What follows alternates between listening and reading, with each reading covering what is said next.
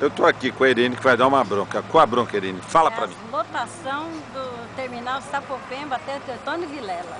Tá uma negação. É do terminal Sapopemba Isso, até, até o Teotônio Vilela, lá embaixo. É, lá embaixo.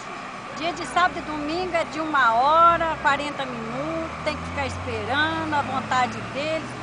Chega dia de semana, tem três, quatro ônibus lá embaixo e todo mundo lá no barzinho conversando e a gente esperando para subir, para descer, nada, nada, nada, nada. Mas isso está acontecendo só com relação ao Teotônio. Você falou que as outras... As outras, ah, você entra lá dentro do terminal, tem lotação de 5 em 5 minutos, tem encostando um. Para os outros... Os outros lugares, para lá pro Teotônio Vilela, não tem. O que, que, será que está acontecendo lá com o Teotônio? Que está tão pertinho. É falta de vontade. Falta de vontade. Falta de vontade para trabalhar.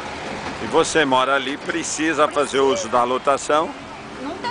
E aí fica esperando uma hora. Você chega lá no ponto lá embaixo, vai lá para você ver. Você chega lá no ponto lá embaixo, sempre senta, lá fizeram até banco. As pessoas sentam e ficam lá esperando a lotação. Aí até que sai com aquela boa vontade, chega lá no terminal, cadê de lá para cá? É que... Não tem.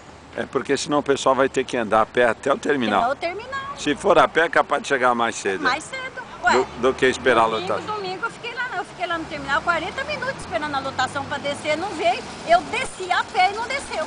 Nenhum. Foi a pé e não passou não, lotação? Não passou nenhum.